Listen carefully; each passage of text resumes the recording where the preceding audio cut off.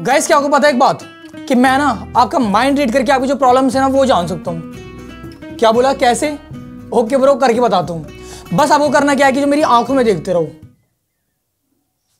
I get the answer मुझे पता है हमें बहुत से जो बंदों की प्रॉब्लम है ना, वो ये है भाई, मैंने अपने बाल तो स्टाइल कर लेता हूँ मतलब बहुत ज़्यादा टाइम लगा के दस पंद्रह मिनट लगा के अपने बाल तो स्टाइल कर लेता हूँ, लेकिन कुछ टाइम बाद ना वो वापस से वैसे हो जाते हैं।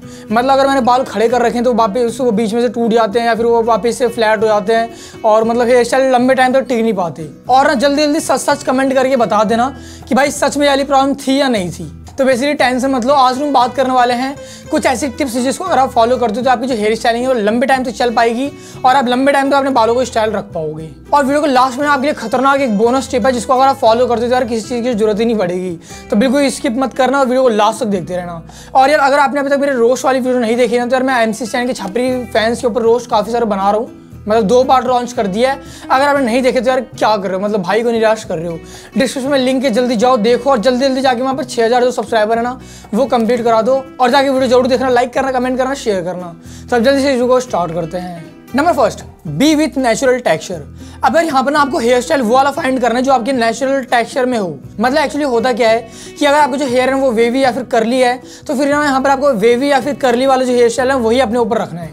या फिर अगर आपके जो बाल है वो स्ट्रेट है तो आपको स्ट्रेट वाला ही हेयर स्टाइल जो आपके ऊपर है ना, वो रखना है। कई सारे बंदे होते हैं ना यार, वो हेयर स्टाइल ये वक्त अपना जो हेयर टेक्सचर है, वही चेंज करने लग जाते हैं। मतलब अगर उनके बाल जो वेवी या फिर करली है तो स्ट्रेटनर लेके ड्रायर लेके ना उसको स्ट्रेट करने लग जाते हैं। या फिर उनके हेयर स्ट्रेट है तो वो मतलब ऐसे करली वगैरह करने लग जाते हैं। तो भाई, ये सब जो चीज़ें ना, वो आप कर सकते हो, लेकिन ये ना सिर्फ़ एक से दो घंटे चल सकती है, उससे ज़्यादा बिल्कुल भी नहीं चलेगी। और फिर आपके जो बाल हैं, वो दोबारा से वैसी हो जाएँगे। और फिर वही बंदे कमेंट करते, भाई ज़्यादा देर तक हमारे जो बाल है, वो टिक नहीं पाते। अब यहाँ पर आप खुद ही मान लो कि आपके जो बाल है, वो वेवी है और यहाँ पर आपने स्ट्रेटनेस से उसको स्ट्रेट कर लिए। तो भाई, थोड़ी देर बाद ना जैसे पानी वगैरह लगता है या फिर थोड़े पसीने वगैरह होते हैं इस गर्मी में तो वैसे आपके जो बाल है, वो दोबारा से वैसे हो जाएँगे तो कोई फ़ायदा नहीं है। सबसे बेस्ट होगा कि अपने हेयर टेक्सचर के अकॉर्डिंग जो हेयर स्टाइल है, वो ट्राई करो और नेचुरल रहो। That's all number second use hair serum अब यहाँ पर हेयर सीरम का फ़ायदा ये है कि ये जो आपके बालों को ना बिल्कुल भी फ्रीजी और रूखा सूखा नहीं होने देगा। अब अगर आप बिना हेयर सीरम वगैरह लगाए हेयर स्टाइलिंग वगैरह करते हो तो मतलब हेयर स्टाइलिंग वगैरह तो कर लोगे, लेकिन कुछ टाइम बाद ना आपके जो बाल है वो फ्रीज से हो जाएँगे रफ से हो जाएँगे, और फिर आपके जो बाल है वो दोबारा से खराब हो जाएँगे।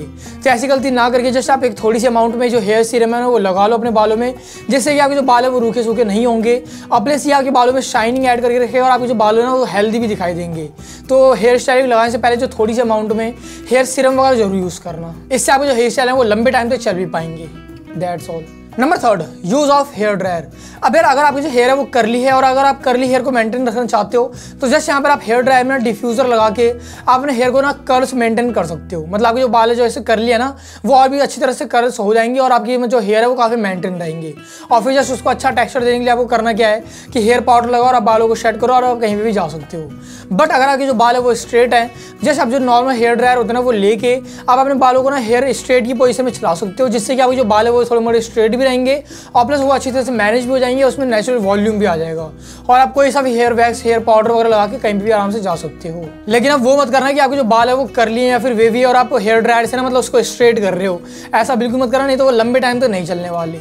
Number fourth use right hair product अगर यहाँ पर ना आपको हेयर प्रोडक्ट वही वाले यूज़ करने चाहिए जिससे आप अपना डिजायरेबल हेयर स्टाइल अचीव कर पाओ, और प्लस वो आपके हेयर टाइप के अकॉर्डिंग भी हो। फॉर एग्ज़ाम्पल कि अगर आपके जो हेयर है वो करली है या फिर वेवी है तो यहाँ पर आपको हेयर वैक्स वगैरह जो है ना, वो वही वाला यूज़ करना है जो आपके कर्ल्स को मेंटेन करके रख पाए। और ऐसे हेयर वैक्स सर्च करने के लिए आप गूगल पे जा सकते हो, वहाँ पर आप जाके पूछ सकते हो। वहाँ पर आपको आराम से ऐसे जो हेयर वैक्स है वो मिल जाएँगे। लेकिन हाँ आपको यहाँ पर जो हेयर प्रोडक्ट है वो वही यूज़ कर रहे हैं जो आपके हेयर टाइप के अकॉर्डिंग हो और जिससे आप अपना डिजायरेबल हेयर स्टाइल अचीव कर पाओ। नंबर फिफ्थ रेगुलर ट्रिम्स अब यार यहाँ पर अपना बालों को आपको रेगुलर ट्रिम्स करानी है मतलब जो स्प्लिट एंड्स होते हैं ना, उसको आपको ट्रिम करवाना है हमेशा। और प्लस आपको जो प्रॉपर हेयर कट है ना, वो मेंटेन करके रखना है। जब तक आपका एक प्रॉपर हेयर कट नहीं होगा तो आपके जो हेयर स्टाइल है ना, वो अच्छी तरह से नहीं बन पाएँगे और लंबे टाइम में नहीं चल पाएँगे। तो आपने बहुत टाइम से ट्रिम वगैरह नहीं करवाए हेयर तो जाके ट्रिम करवा लो। और जैसे कि मैंने बोला स्प्लिटेंट्स तो स्प्लिटेंट्स क्या होता है कि मतलब जो हमारे बालों के जो लास्ट वाला जो एरिया होता है ना, वो काफ़ी डैमेज हो जाता है अगर आप अपने बालों को लंबे टाइम तक हेयर कट वगैरह नहीं करवाते तो। और जिससे कि जो लास्ट वाला पार्ट होता है ना मतलब जो लास्ट के जो हेयर होते हैं। वो काफ़ी डैमेज और काफ़ी रफ से दिखाई दे रहे होते हैं, जो आपके पूरे हेयर स्टाइल को काफ़ी खराब करते हैं और जिसकी वजह से ना आपके जो हेयर स्टाइल वो जल्दी से खराब हो जाते हैं। तो अगर आपने लंबे टाइम तक हेयर कट वगैरह नहीं करवाया तो जाके जो अपने स्प्लिटेंट्स है ना, वो कम से कम कट करवा लो, जिससे कि आपके जो बाल है वो दिखने में हेल्दी लगेंगे, वो अच्छे लगेंगे और आपके जो हेयर स्टाइल है वो लंबे टाइम तक टिक पाएँगे। दैट्स ऑल तो चलो अभी हम यहाँ पर बात कर लेते हैं बोनस टिप्स के ऊपर, जिसका आप सभी लोगों को इंतज़ार था। तो वो है परमानेंट ट्रीटमेंट अब यहाँ पर अगर आपको जो हेयर है ना, वो स्ट्रेट अच्छे लगते हैं बट आपके जो हेयर है ना, वो वेवी हैं या फिर करली हैं? तो यहाँ पर आप परमानेंट ट्रीटमेंट ले सकते हो परमानेंट स्ट्रेटिंग वगैरह करवा सकते हो।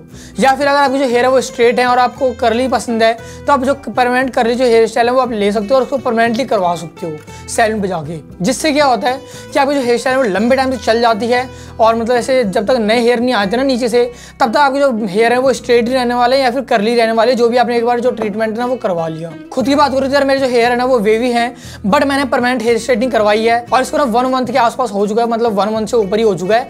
बट अभी मेरे जो हेयर है वो बिल्कुल स्ट्रेट है, उसमें कुछ भी नहीं हुआ है। तो अगर आप हेयर स्ट्रेटिंग वगैरह करवाना चाहो तो करवा सकते हो। और अगर आप देखना चाहो तो मेरी हेयर स्ट्रेटिंग की फुल ट्यूटोरियल तो यहाँ पर जैसे आपको ये वीडियो हो जाएगी, जैसे जाके देखो।